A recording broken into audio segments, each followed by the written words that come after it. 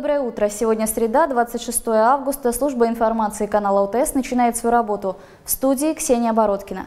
Сегодня в выпуске расскажем, зачем школьников научат писать резюме, для чего проведут собрания преподавателей и когда начнется отопительный сезон.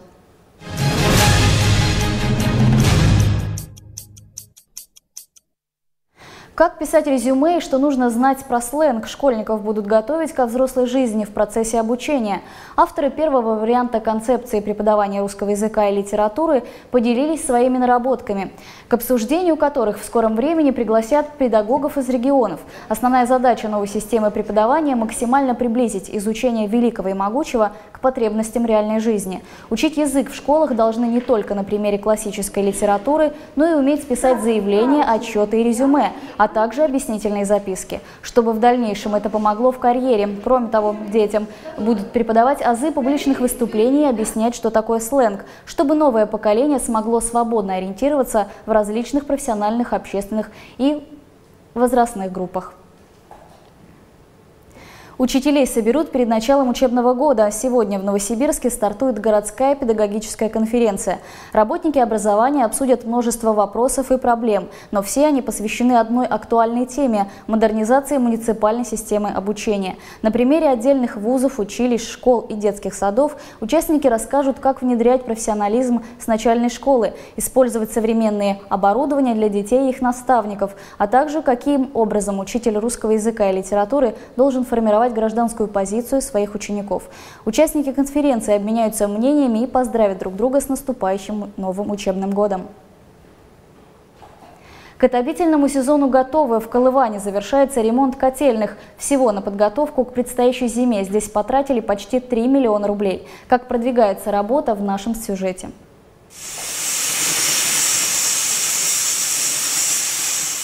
Эта котельная одна из немногих, которая сегодня работает еще на твердом топливе. Замена старых котлов – мероприятие вынужденное и необходимое. Зимой то и дело прежнее оборудование выходило из строя. Старые трубы, изношенные теплосети. Сейчас новые современные вихревые котлы, уверены специалисты, прослужат не один десяток лет. Котлы э, сваренные из труб. Это часть 50-я, часть 89-я труба. Э, ну, принцип там э, вращения воды в этом котле оборота совсем другой. Заменили и сами тепловые сети. Раньше они проходили под землей и находились на территории местных жителей, что в момент порывов доставляло неудобства. Сейчас их проложили верховым способом и перенесли на территорию котельной. Также провели и косметический ремонт в самом здании. Местные власти уверены, начало отопительного сезона начнется вовремя, а самое главное, своевременная замена оборудования даст уверенность, что зимой коммунальные катаклизмы колыванцам не угрожают. Мы, в принципе, каждый год на котельных проводим очень серьезные работы. Прошлый год мы также заменили два котла. Замена двух котлов примерно стоит сегодня это полтора миллиона рублей. Это, это для бюджета все равно деньги серьезные. Вот. Естественно, конечно, мы ощущаем помощь областного правительства нашего Новосибирского в этом плане. Ну и сами не сидим сложа руки, так сказать. Еще неделю и работы на этом объекте будут завершены. Всего на ремонт котельных поселка потратили порядка 3 миллионов рублей. Здесь уверены, эти затраты оправданы. Даже в самые суровые морозы оборудование не подведет. Яна Денченко, Игорь Попрыга. Новости ОТС. Когда начнется отопительный сезон, как завершилась ремонтная кампания коммуникаций, это и многое другое обсудят сегодня на заседании Министерства энергетики и ЖКХ. Эксперты сейчас оценивают состояние теплосетей. В некоторых районах еще проводят гидравлические испытания. Точную дату, когда в квартирах дадут тепло, предстоит еще обсудить с синоптиками. Но по традиции это будет не раньше середины сентября, когда среднесуточная температура в течение пяти дней будет держаться на отметке ниже 8 градусов тепла. На все подробности мои коллеги расскажут в дневных выпусках новостей. Магазины, реклама, транспорт и технологии. Крупный рекрутинговый портал Новосибирска составил рейтинг самых высоких зарплат в августе. Специалисты проанализировали более 8 тысяч вакансий, опубликованных в этом месяце. Средняя зарплата, которую предлагают работодатели, составляет 35 тысяч рублей в месяц. В расчет составители рейтинга взяли только работу с неполной занятостью. Чаще всего требуются служащие в сфере транспорта, автобизнеса, продаж. Среди самых высокооплачиваемых предложений – ставки ведущего разработчика, директора по маркетингу и инженера по ремонту мобильной техники. За эту работу обещают от 100 до 300 тысяч рублей в месяц. Кроме того, по-прежнему хорошо оплачивается должность коммерческих директоров, независимо от профессии и сферы работы. На этом пока все. Я прощаюсь с вами до следующих выпусков новостей. Удачного дня!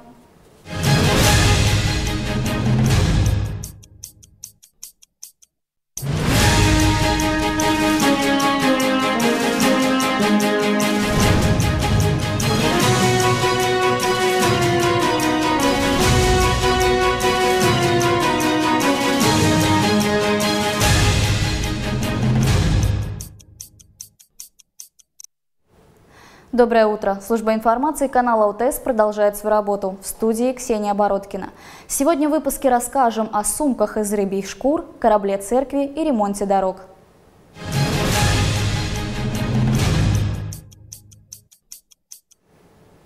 Кожгалантерея из ирбих шкур. Новосибирские студенты разработали новую технологию обработки лососевых шкур. Студент второго курса экономического факультета НГУ Сергей Шмыков и выпускница НТИ Галина Грибовская открыли свое предприятие «Рыбий мех». За три года они разработали свою технологию обработки рыбьих шкур в качественный кожевенный продукт, превосходящий обычные виды кожи. Шкуры поступают на выделку в замороженном виде. Далее происходит мездрение, удаление подкожно-жировой клетчатки и избавление от чешуи чешуи. Все, весь процесс занимает около трех дней. Сейчас молодые исследователи продвигают свою идею в летней школе Академпарка. Святой апостол Андрей Первозванный отправится в очередной рейс. Сегодня в Колыване прибывает корабль «Церковь». В составе корабля священнослужители, врачи, специалисты социальной службы. Прием ведется в отдаленных селах Новосибирского района, расположенных близ реки Обь. Жители имеют возможность принять крещение, исповедоваться и причаститься, осветить дома, приобрести церковную утварь и духовную литературу. Врачи проводят консультации и медицинское обследование селян. Стартовал корабль «Церковь» 15 августа от пристани «Речной вокзал». Центр исправления осужденных создадут в Новосибирске. Такой эксперимент решила провести служба исполнения наказания. Центр создается из двух или трех отрядов численностью не более 300 осужденных.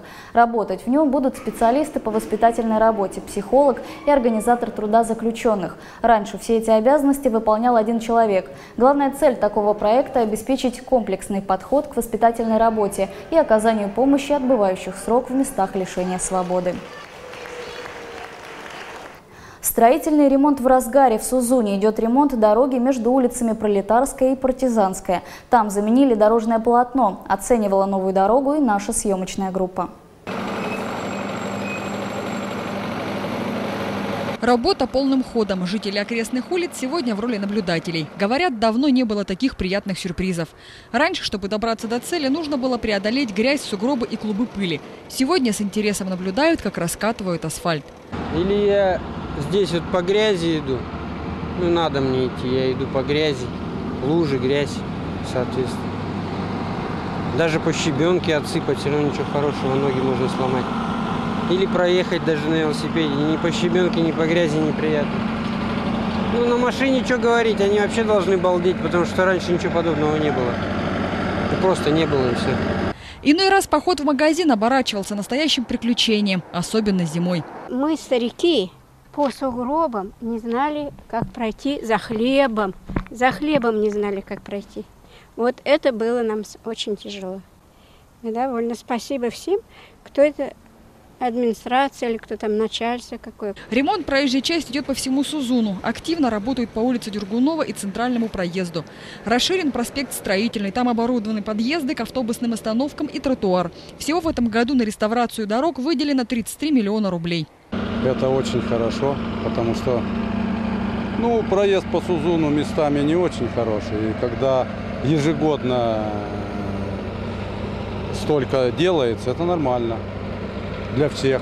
Впечатление от новой дороги портит лишь бурьян на обочине. Убирать сорняки от своих заборов обязаны сами жители. Поэтому красота улиц теперь целиком зависит от горожан. Евгения Емельянова, Александр Зулин. Новости ОТС. Журналисты региональных СМИ отправляются на международный форум Таврида. Проходить мероприятие будет в Крыму на Бакальской косе с 27 августа по 2 сентября. Организует смену Общероссийский народный фронт. В работе форума примут участие 500 человек. Это молодые журналисты, блогеры со всех регионов страны, главные редакторы СМИ, преподаватели ведущих вузов. Участников ждет насыщенная программа. Образовательные лекции, мастер-классы, тренинги, практические задания по написанию текстов, созданию инфографики и видеосюжетов. Стартуем в Новотроицке. Сегодня футбольная Сибирь сыграет в 1-32 финала Кубка России против местной Носты. Нынешний соперник нашей команды играет во втором дивизионе страны. На предстоящем матче «Орлы» отправились молодежным составом. Напомню, в прошлом сезоне новосибирцы дошли до 1-16 финала, где уступили будущему победителю турнира – московскому «Локомотиву». На этом пока все. Я прощаюсь с вами до следующих выпусков новостей. Удачного дня!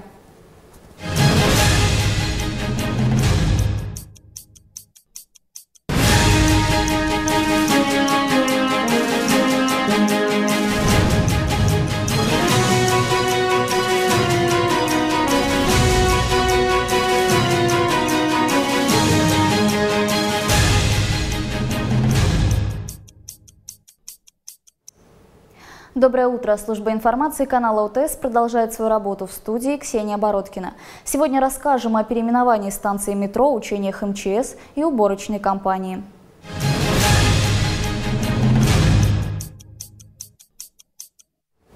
Имя писателя хотят заменить названием транспортного узла. Общественники предлагают переименовать станцию метро площадь Гарина Михайловского на вокзал Новосибирск-Главный. Голосование уже начали проводить на портале Российской общественной инициативы. У авторов идеи нет претензий к писателю и основателю Новосибирска.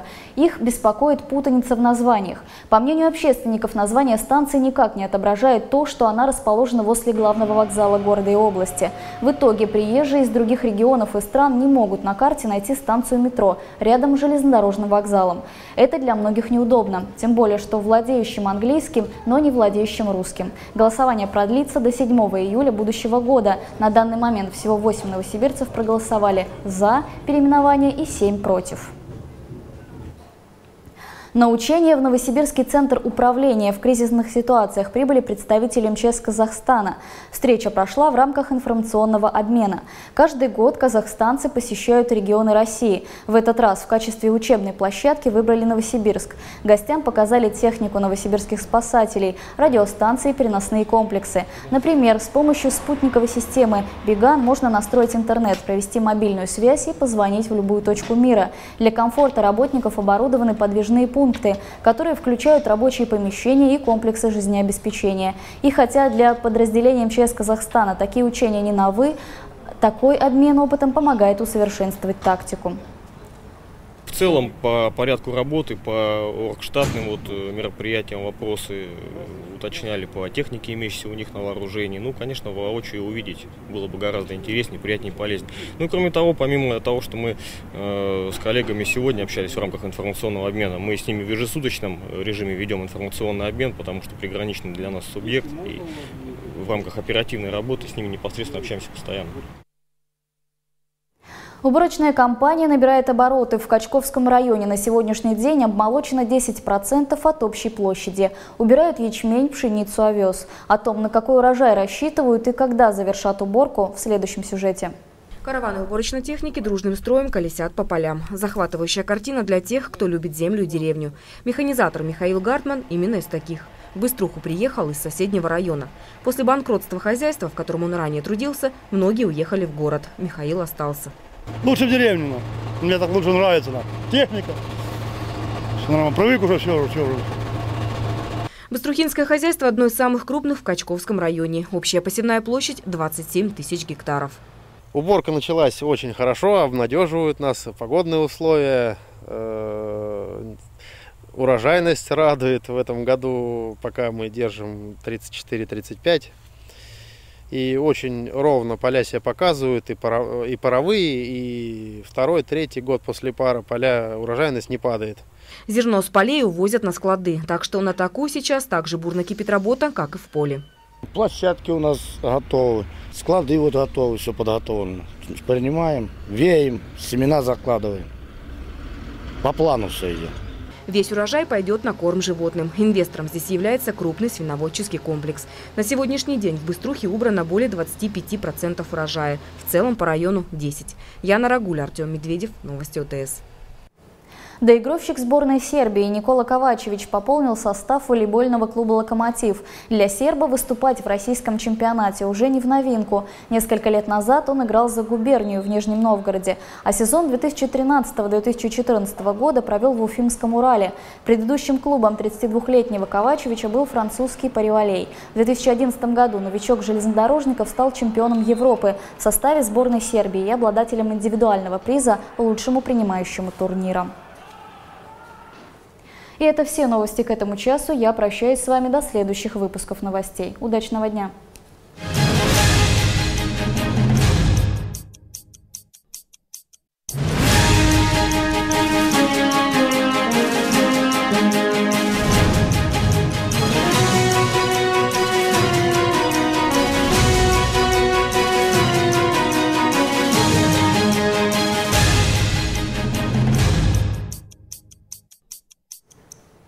Доброе утро. Служба информации канала ОТС продолжает свою работу в студии Ксения Бородкина.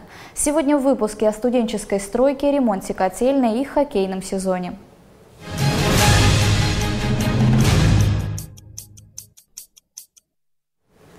Студенческая стройка «Аквапарк-2015» завершилась все лето. Студенты семи новосибирских вузов помогали строить спортивно-оздоровительный центр. Сегодня в честь окончания работ пройдет торжественная линейка. Участие в мероприятии примет министр региональной политики Новосибирской области Михаил Жиганов. Подведут итоги трудового сезона, наградят лучших отрядных командиров, комиссаров и бойцов. Самой работящей команде региональной студенческой стройки вручат знамя и объявят победителя конкурса на лучшее название аквапарка.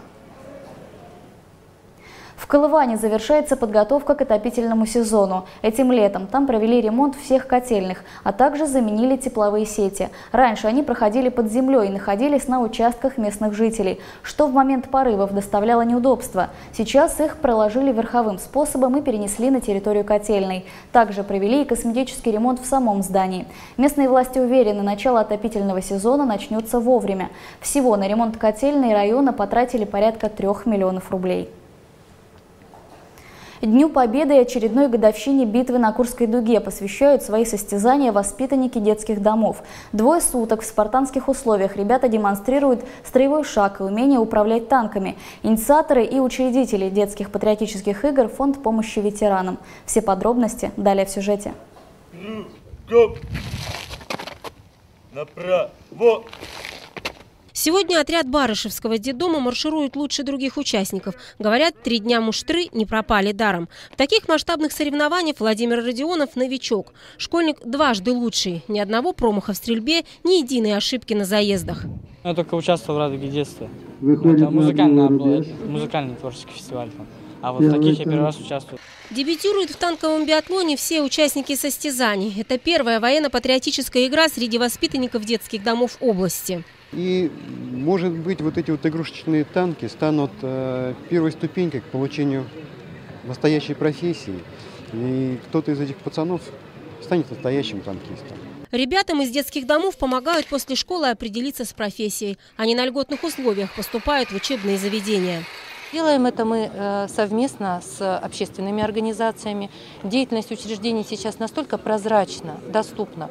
У нас входят взрослые, входят волонтеры от общественных организаций для того, чтобы как можно быстрее и лучше социализировать наших ребятишек. Сегодня в области 17 детдомов. Их наполняемость 70-процентная. Политику государства «Дети должны жить в семье» регион полностью поддерживает и ежегодно более 100 сирот передают на воспитание в семьи. А в ближайшее время Министерство соцразвития организует десятидневную профильную смену, в которой примут участие воспитанники всех детских домов. Зинаида Миронова, Владимир Полосин, Новости УТС. Известный российский переводчик фильмов, писатель, сетевой публицист Дмитрий Пучков приезжает в Новосибирск. Интернет-пользователем он известен под псевдонимом Гоблин. В сети есть множество видео с его участием. Он высказывает свое мнение по поводу отечественных фильмов, делает обзор событий с неординарной для большинства точкой зрения, а также рассказывает о новых гаджетах. Новосибирские поклонники могут пообщаться с Пучковым на площадке проекта «Актуальный собеседник». Встреча начнется в 19 часов в Белом зале киноконцертного комплекса имени Маяковского. Вход свободный. Сегодня первый матч нового сезона проведет хоккейная «Сибирь». Команда сыграет в Москве против «Динамо». Этим летом хоккеисты провели тренировочные сборы в Финляндии, сыграли несколько контрольных матчей с местными командами и приняли участие в традиционном мемориале Рамазана в Магнитогорске. Там Сибирь одержала лишь одну победу и заняла последнее место среди четырех команд. Напомню, прошлый сезон стал для Сибири лучшим в истории. Команда завоевала бронзовые медали континентальной хоккейной лиги. А сегодняшний матч вы можете посмотреть на канале ОТС в прямом эфире. Начало в 22.25. И это все новости к этому часу. Я прощаюсь с вами и удачного вам рабочего дня.